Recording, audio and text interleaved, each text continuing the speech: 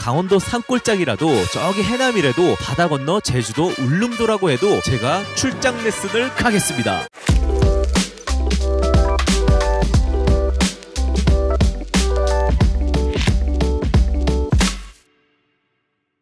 안녕하세요. 프로듀서 미친 감성입니다. 자 이번 빌보드 히트곡 클래스 마감이 이제 12일밖에 남지 않았네요. 이쯤 돼서 새로운 소식 하나 전달할게요. 그동안 감성 사운드 특강의 프로젝트의 발송은 코드를 심어서 여러분들의 이메일로 전송하는 방식이었는데요. 원래는 그레이도 그렇게 하려고 했는데 그래도 3년 만에 꿈이 이루어졌고 빌보드인데 감사하는 마음도 전하고 감사합니다. 의미를 담고 싶어서 이번 빌보드 히트곡 클래스에서는 실물 상품으로 제작해서 보내드리게 되었습니다. 와우 이거는 샘플 모양인데요. 이런 약간 명품 살 때 주는 느낌으로 굉장히 고급스러운 박스 안에 포장을 하고 이런 식으로 저희 회사 마크가 넣어져 있는 USB 안에 그레이 히트곡 프로젝트 4곡을 넣어드릴 거예요. 그리고 이런 카드도 있는데 아 제가 회사분들께 제 포토카드도 넣어주면 안 되냐고 했더니 다들 계속 웃기만 하고 계속 모른 척 하시더라고요. 아, 나는 진심인데 미안해요.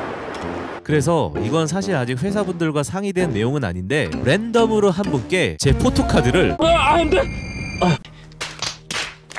제가 몰래 넣을 거예요. 그럼 꽝이냐고요? 어, 이 행운의 포토카드를 받으시는 분은 두 개는 제외하고요. 그 어떤 곳이라도 강원도 산골짜기라도 저기 해남이라도 바다 건너 제주도 울릉도라고 해도 제가 출장 레슨을 가겠습니다. 형이 가고 싶은 데만 말하는 거 아니야?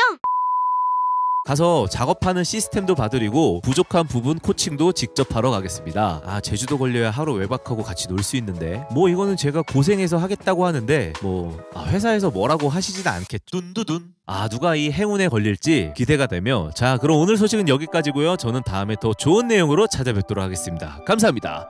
안녕.